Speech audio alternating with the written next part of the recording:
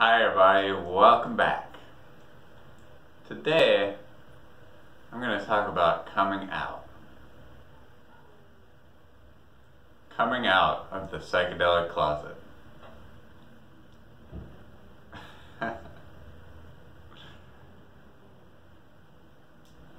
this subject amuses me for a variety of reasons. One, is because I like to picture what that closet would look like.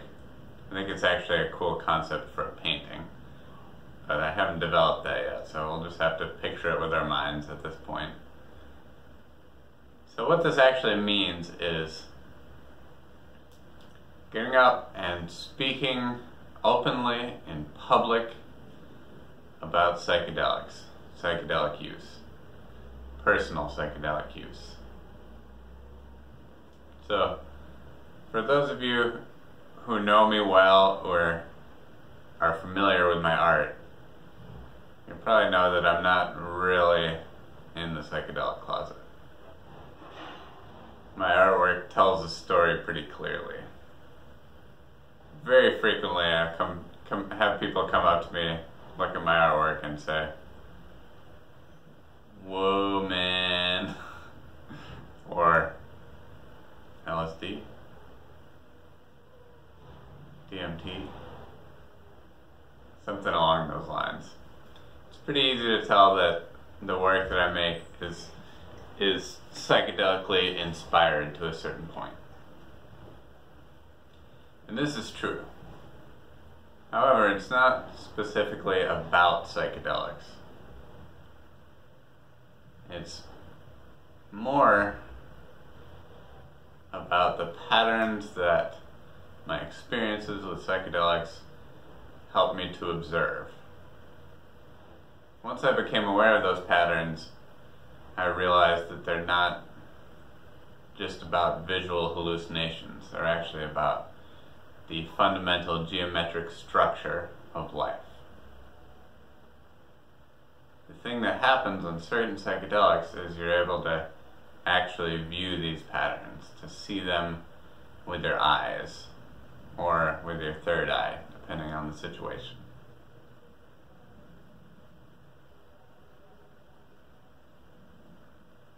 So,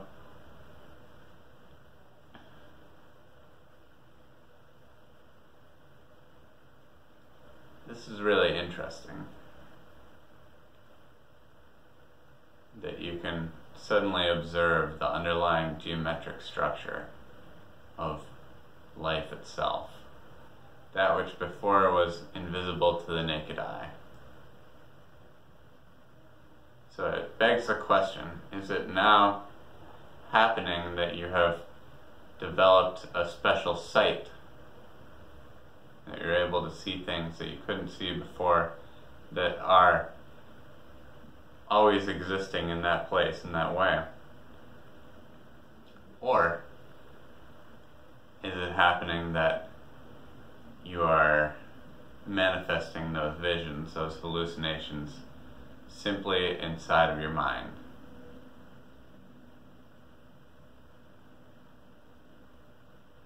Now, it's very different, very difficult to make this distinction because everything that we perceive is filtered through our own antennas our senses.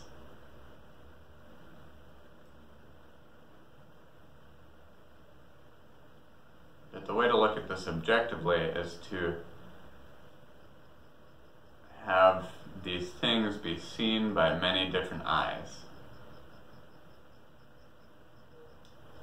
And this, I believe, is one of the main goals of visionary art.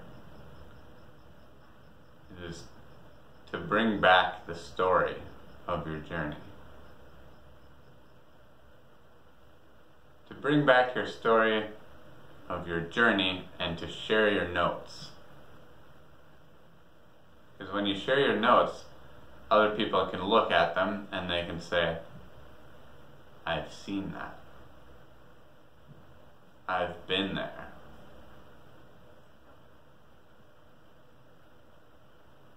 And the suggestion that that makes is really powerful, which is that it is something that is not simply created in our minds by a hallucination. This is very interesting to consider. Many people who are interested in psychedelics are very comfortable with the idea that there are many different realms, many different dimensions existing simultaneously, even in the same place. Many different levels of dimensions that you can see with different types of perception. And science is coming around to this idea as well. But mystical traditions have been exploring this for thousands of years. And I believe that it is a tragedy that entheogens, psychedelics, visionary plant medicines have been vilified, cast out from society. In fact, I believe it is part of the reason why we've become so disconnected from the spirit that moves within all things, from the life force.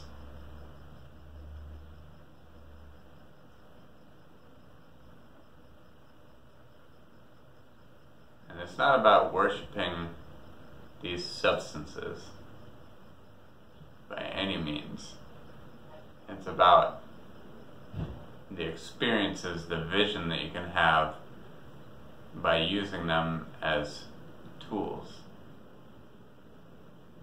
Visionary tools, healing tools. For me, it has been my exploration of these things has been incredibly healing, incredibly insightful, fascinating, adventurous ride.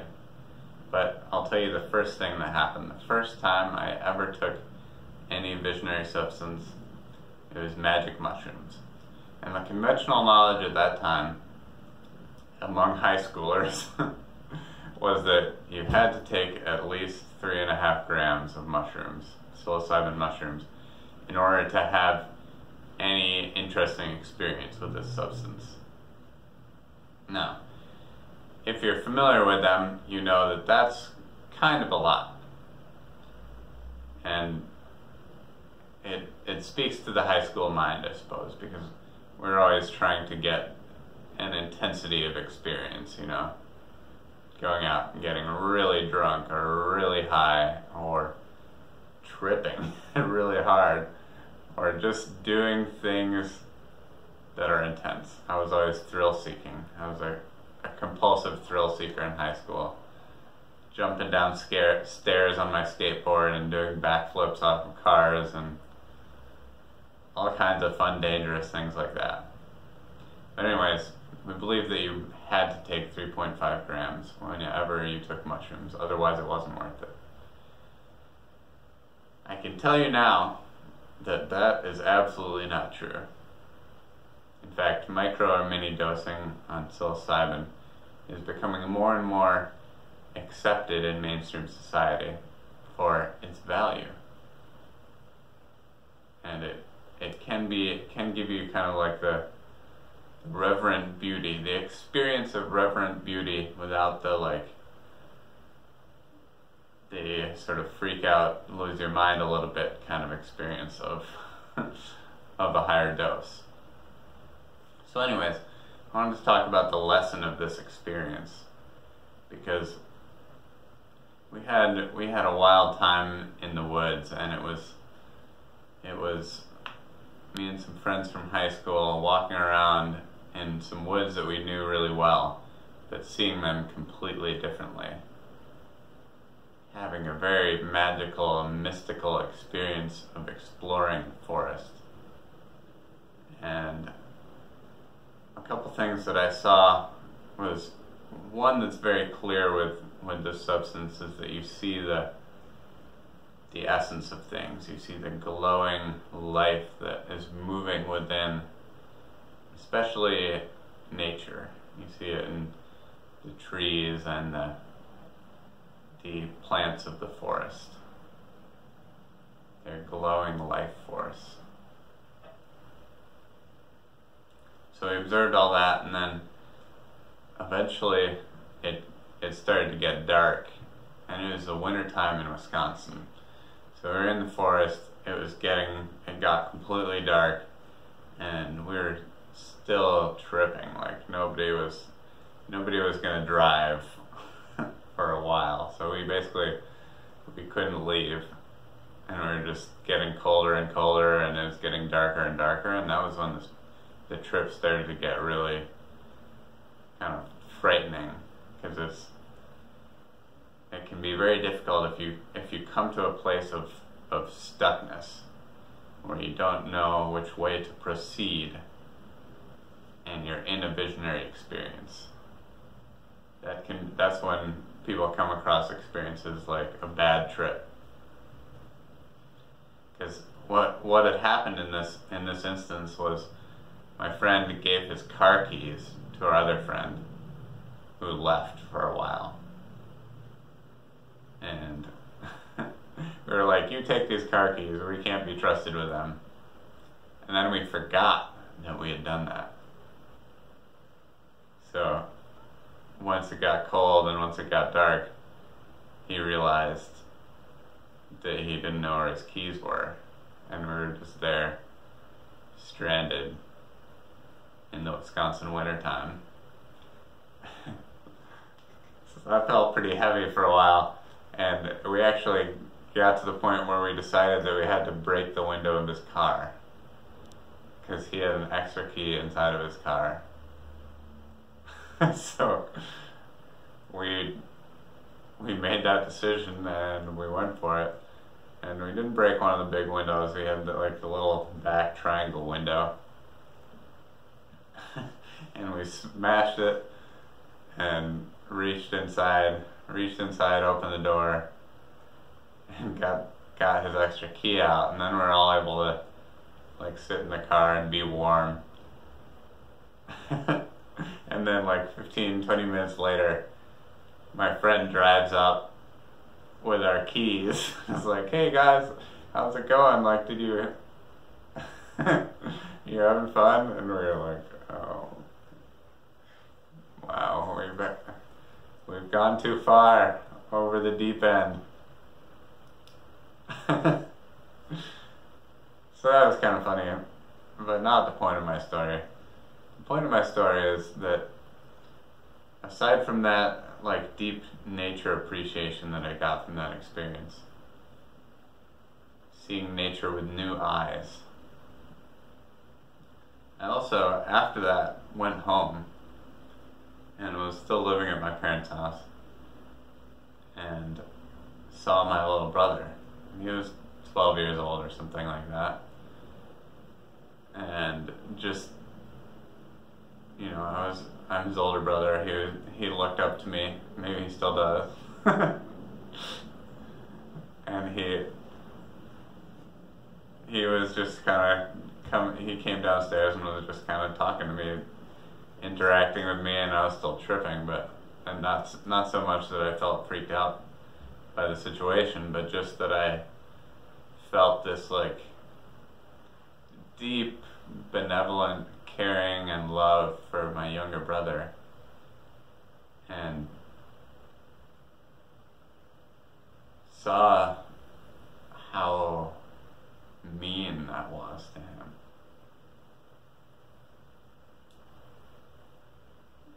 saw how like the way that I was treating him was totally inappropriate and unfair. And I immediately immediately stopped and changed course with that. Basically made the decision that I need to be kind to people. Everybody, especially my siblings but to everybody who I come into contact with. And that is a lesson that has stuck with me ever since then, and that has really positively transformed my life. Now, I wouldn't say that I'm 100% consistent, that I'm fully able to do this at all times. But it is most definitely the policy that I've adopted and that has brought incredible gifts to me, to my experience of this life. Because when you go through life being kind to people, things open up to you. A lot of things become a lot easier when you move through life with that kind, open heart.